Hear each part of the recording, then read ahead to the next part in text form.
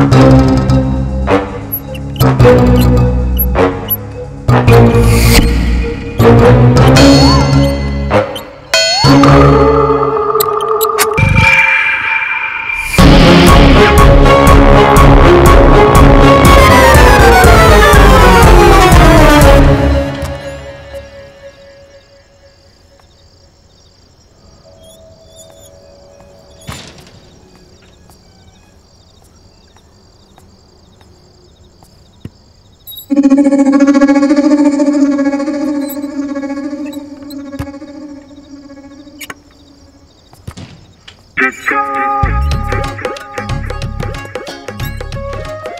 ਹਾਂਜੀ ਅੱਜ ਕਿਵੇਂ?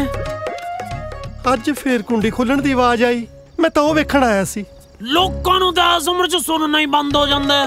ਤੁਸੀਂ ਉਹ ਕੋਈ ਤੁਹਾਡੀ ਸੁਣਨ ਸ਼ਕਤੀ ਵੱਧਦੀ ਹੋ ਜਾ ਰਹੀ ਹੈ ਮੈਂ ਇਸ ਘਰ ਦਾ ਮਾਲਕ ਹਾਂ।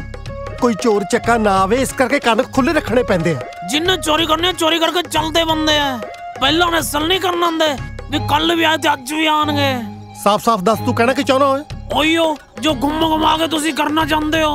ਐ ਬੰਨੇ ਤੁਹਾਡੇ ਮੂਰੇ ਹੱਥ ਇਸ ਤੋਂ ਪਹਿਲਾਂ ਕਿ ਕੋਈ ਹੋਸ ਪੜੋਸ ਵਾਲਾ ਦੇਖ ਲੈ ਇਹਨੂੰ ਅੰਦਰ ਹੀ ਵਾਲਿਆ ਕਰੋ। ਮੈਂ ਚਪੇੜ ਮਾਰੂ ਸਾਲੇ ਢਿੱਡਲ ਜੇ ਦੇ। ਹੁਣ ਅੱਜ ਕੀ ਹੋ ਗਿਆ ਸਾਹਿਬ ਜੀ? ਹੋਣਾ ਕੀ ਆ? ਕੁੰਡੀ ਦੀ ਆਵਾਜ਼ ਸੁਣ ਕੇ ਮੈਂ ਉਹਨੂੰ ਵੇਖਣ ਸੀ। ਸਾਲਾ ਕਹਿੰਦਾ ਮੈਂ ਤੇਰੇ ਕੋਲ ਆਇਆ।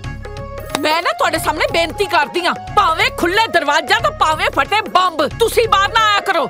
ਜਿਵੇਂ ਉੱਚੀ ਉੱਚੇ ਭੌਂਕਦਾ ਨਾ ਤੁਹਾਨੂੰ ਕੇਸ ਮਿਲਨੇ ਬੰਦ ਹੋ ਜਾਣੇ ਆ ਤੇ ਮੈਨੂੰ ਕੰਮ ਦੀਆਂ ਆਫਰਾਂ ਵੱਧ ਜਾਣੀਆਂ। ਡੇ ਨਾਈਟ ਸ਼ਿਫਟਾਂ ਤੋਂ ਇੱਥੇ ਲਗਾ ਰਹੀਆਂ ਆਲੇ ਹੋਰ ਕੰਮ ਭਾਲਦੀਆਂ। ਸਾਲੇ ਤੇਰੀ ਤਾਂ ਸੋਚ ਪਹਿਲੇ ਤੋਂ ਹੀ ਗੰਦੀ ਆ। ਇਹ ਜਿਹਾ ਗੰਦਾ ਸਾਲਾ ਨਾ ਚਿੱਟਾ ਨਾ ਕਾਲਾ। ਜੀ ਕਰਦਾ ਇੱਥੇ ਢਾਲਾਂ। ਚੰਡ ਮਰਾਂਗਾ ਹਾਂਜੀ। ਸ਼ਟ ਅਪ ਜਿੱਜੋ। ਹਾਏ ਰੱਬਾ ਇਸ ਕਮੀਨੇ ਨੇ ਸੁੱਤੀ ਪਈ ਉਹ ਮਸ਼ਹੂਰ ਕਰ ਦੇਣੀ ਆ।